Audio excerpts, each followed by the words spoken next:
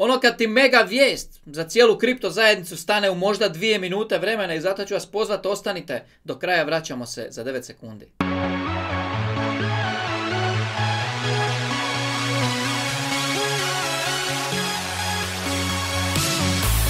Veliki pozdrav svima, dobrodošli na kanal Kripto Tema. Ako vas zanimaju kriptovalute i kripto teme, vi ste na pravom mjestu. Ako još niste, postanite subscriber ovog kanala. I naravno večeras u 8 sati za sve Jumbo članove imamo live stream. Biće jako zanimljivo. Naše teme, naše kripto istrage, naše njuškanja, naši projekti. Vidimo se večeras u 8. Sada za vas vijest dana, brutalna vijest dana. Brutalna vijest dana, odnosno za kripto teme vijest dana je objavljena upravo na Twitteru.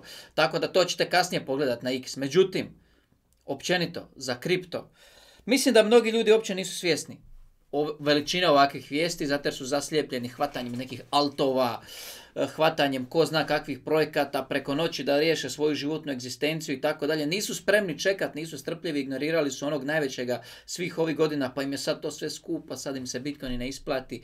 I onda izađe vijest, znači eh, CME Group, znači najveća svjetska platforma za trgovinu futuresima, oni su broj jedan nema većih iznad njih. Znači, volumeni trgovine da vam mozak eksplodira.